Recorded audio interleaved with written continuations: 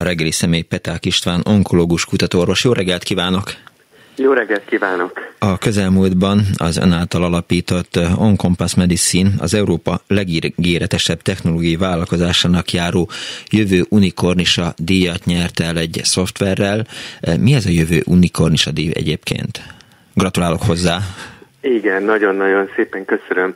Igen, egy, egy pontosításra szeretnék kezdeni, mert én kutatóorvos vagyok, és molekuláris farmakológiával foglalkozom, mm. és valójában ugye nem onkológus vagyok, hanem az onkológusokkal dolgozom együtt, és ez a szoftver, amit fejlesztettünk, ami ezt a díjat elnyerte, ez pont egy új technológia, tehát itt azért vagyunk nagyon büszkék, mert példát tudtunk arra mutatni, hogy Magyarországon ugye nem csak ellátni tudjuk a betegeket, vagy pedig használni a már a világon kifejlesztett eszközöket, hanem mi magunk is tudunk új eszközöket kifejleszteni, amik nemzetközi szinten is egyedülállók. Ugye ez a jövő unikornisa díj, ez, ezt a e, Digital Europe nevű nemzetközi szakmai szervezet ítéli oda minden évben annak az európai technológiai vállalkozásnak minden szektor átfogva, ahol a legígéretesebb ugrásszerű növekedést lehetővé tevő technológiát fejlesztették ki. Ugye ez a szervezet egyébként 35 ezer vállalkozást fog össze 40 országban, és, és az unikornis díj egyébként azt jelenti a startup technológiai vállalkozások körében, hogy a, az unikornisnak nevezik azt a céget, ami elérheti az egy milliárd dollár értéket, és hát itt ugye azért is keresik ezeket a cégeket, hogy minél több ilyen legyen Európában. Most jelenleg a világ unikornisainak 14%-a indul Európából, és ezt szeretnék felnövelni 25%-ra. És, és ez egy fantasztikus érzés, hogy idén 2021-ben minket egy Magyarországon működő magyar vállalkozást választottak a legígéretesebbnek egész Európából, ez számunkra is egészen megdöbbentő hír, és hát a esemény rangját ugye növelte az is, hogy a, az Európai Bizottság innovációért és technológiai felelős biztosa Maria Gabriel adta át ezt a díjat, és most nagyon izgulunk, hogy hogyan tudjuk akkor ezt a technológiát használni így európai szinten a daganatos betegek megsegítésére. Ha most a sajtóban dolgoznák, dolgoznék, és azt a hangzatos címet adnám a beszélgetésünknek, hogy szoftver fogja gyógyítani a rákot, akkor ez mennyire lenne túlzás? Valójában, valóban ez a cél. Tehát, tehát valóban az a cél, hogy a, olyan szoftvert fejleszünk ki, amely növeli a kezelések hatékonyságát, tehát a betegeknek a gyógyítási esélyeit, hogy minél több beteget gyógyíthassanak meg az onkológusok, vagy növeljük meg a betegek túlélését. Tehát ezt így, így ugye az ipar nyelvén megfogalmazva, úgy, úgy mondjuk, hogy a, az az érték ajánlatunk, ezzel az eszközzel, hogy tovább él a beteg, hogyha az orvos használja. Tehát nem csak az a cél, hogy könnyebb, gyorsabb legyen a, a döntés, hanem jobb, javuljon a döntés.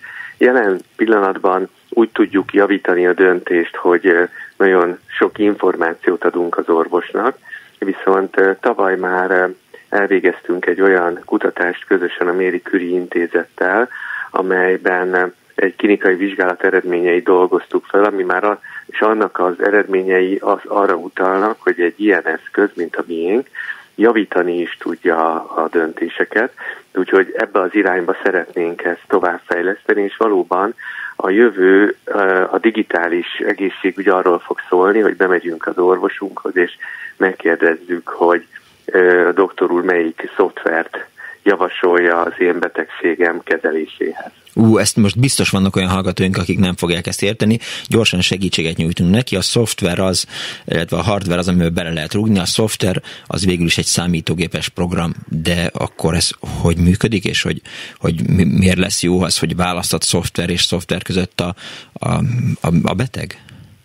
Igen, ugye a Ugye konkrétan a, a mi esetünkben, uh, ugye a rák esetében a, az emberiség eljutott 2020-ra oda, hogy megismertük a, azokat a gén hibákat, géneket, amik a daganatok kialakulásáért felelősek, és tudjuk, hogy 6 millió mutáció fordulhat elő 600 féle génben, és minden betegben 4-5 mutációnak a kombinációja van jelen, és egyre több ilyen génre ugye vannak, vannak célzott gyógyszerek, több mint száz van már forgalomban, és ugye mivel tudjuk, hogy minden betegben négy-öt ilyen génhiba van, a nagyon nagy feladat, hogy kiválasszuk, hogy ezek közül melyikre lenne érdemes adni egy adott gyógyszert, és ezt annak alapján kell tudnunk eldönteni, hogy ezek a gének milyen kapcsolatban állnak egymással, milyen hálózatba rendeződnek, és hogy mi a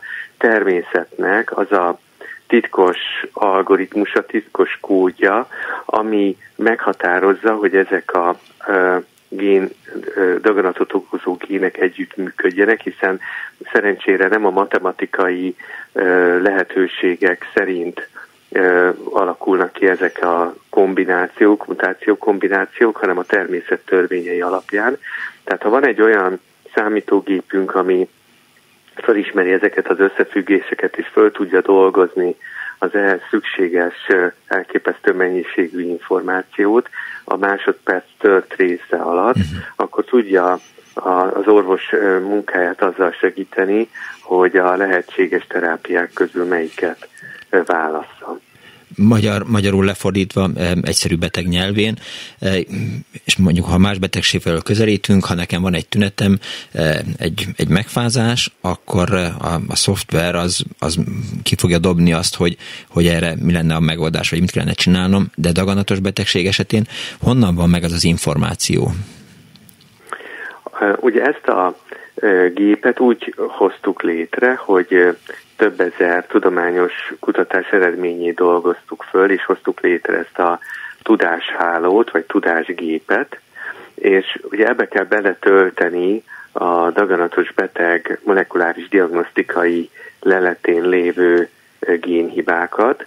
Ugye ez, ezeket a molekuláris diagnosztikai vizsgálatokat egyre több helyen elvégzik, uh-huh.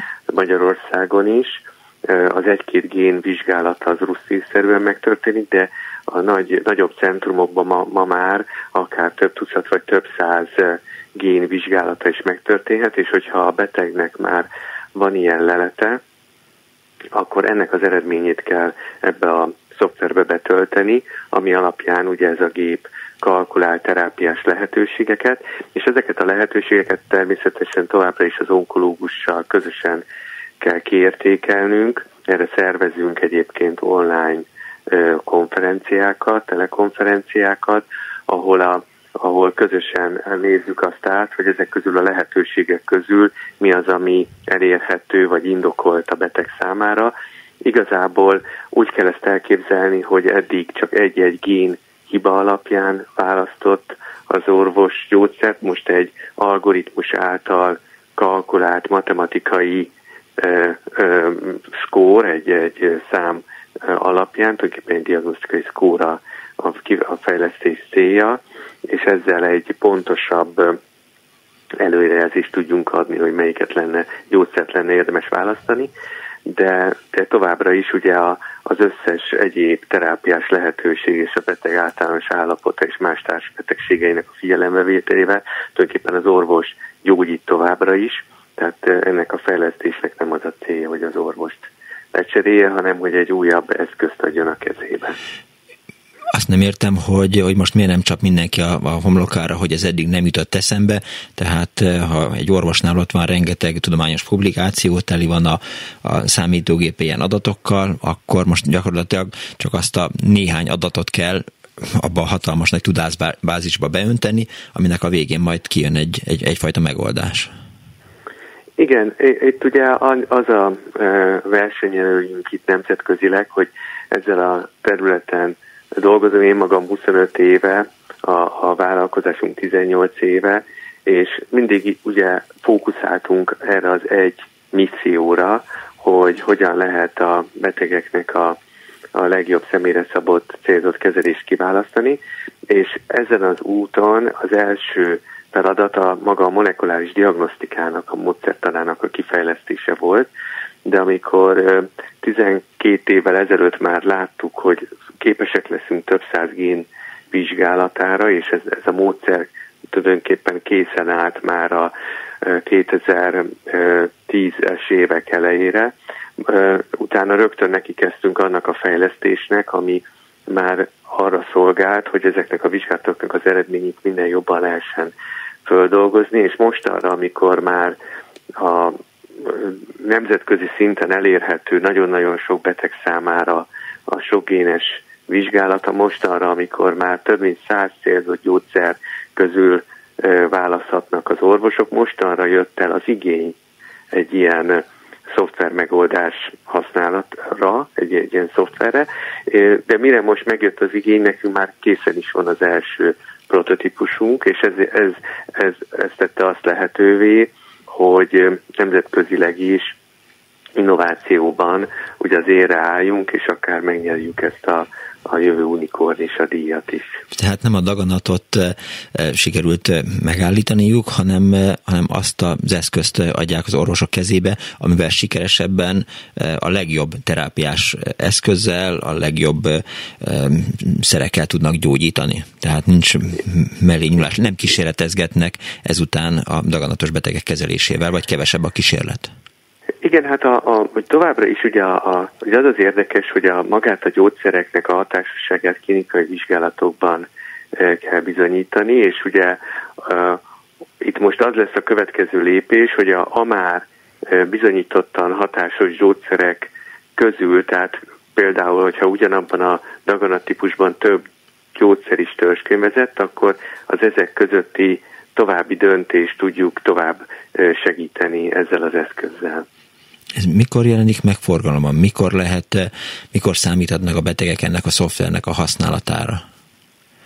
Ez a szoftver már eh, egy eh, regisztrált orvostechnikai eszköz, mint döntéstámogató eszköz, tehát a, mint információ szolgáltató eszköz, és ezt használják a kollégáim arra, hogy segítsenek az orvosok munkáját már most Magyarországon. Nagyon sok onkológiai centrummal kapcsolatban állunk, és amennyiben egy betegnél fölmerül az igény, hogy, hogy egy ilyen elemzést elvégezzünk, ez már most működik, és több ezer beteg esetében ezt alkalmaztuk is, és, és gyakorlatilag ez már ma elérhető a betegek számára. Tehát amikor elmegyek egy onkológiai centrumba, lehet legyen az Magyarország bármely pontján, akkor számíthatok rá, vagy hihetek abban, hogy, hogy ezzel az önök által fejlesztett szoftverrel fognak nekem adott esetben kúrát javasolni, vagy, vagy gyógyszereket, vagy kezelést?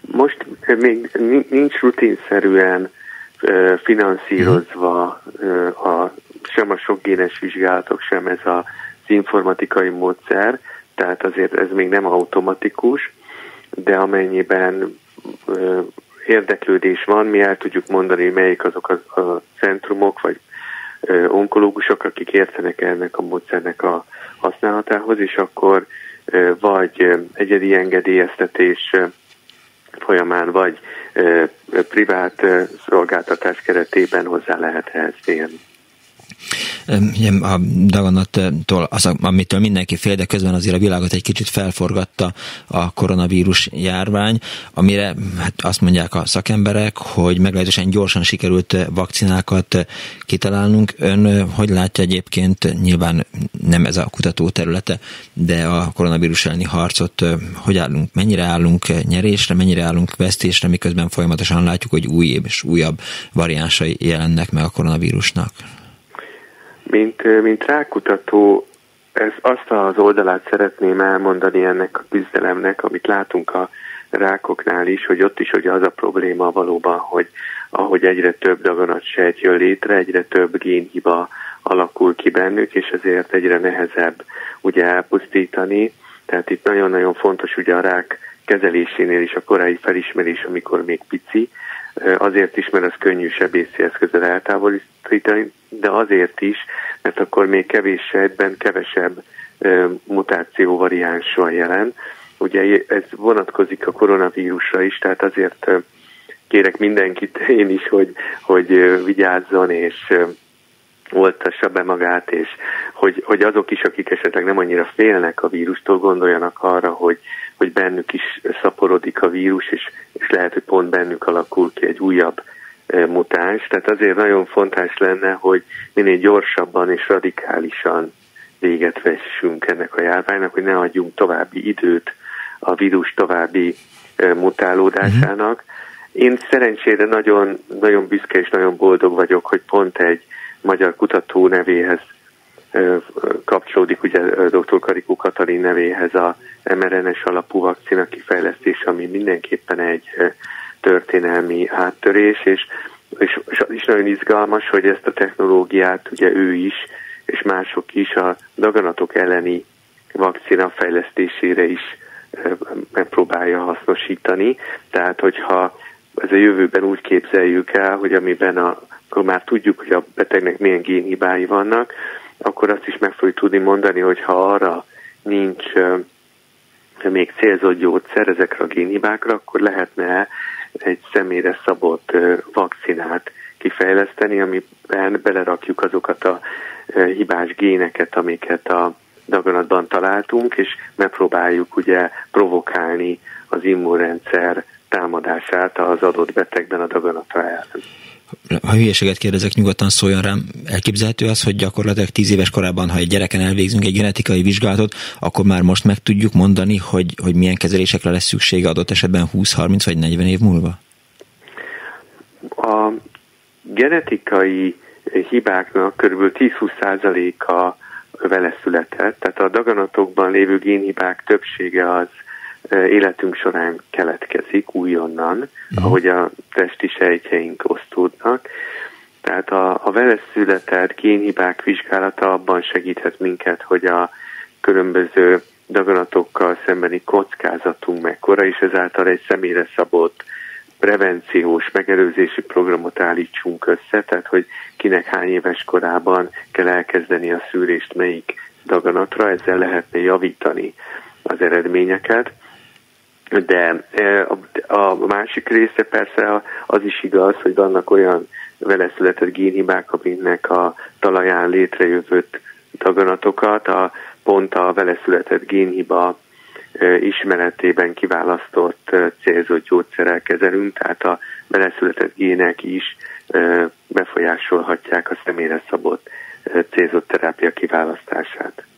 Tehát akkor, igen, tehát akkor lehet, hogy akkor olyat, e, akkor hát nem tévedtem ebben kapcsolatban. A jövő unikornis a díj után mi történik? Tehát, hogy ismertebb lesz világon a szoftver, vagy, vagy mihez segíti ez önöket hozzá?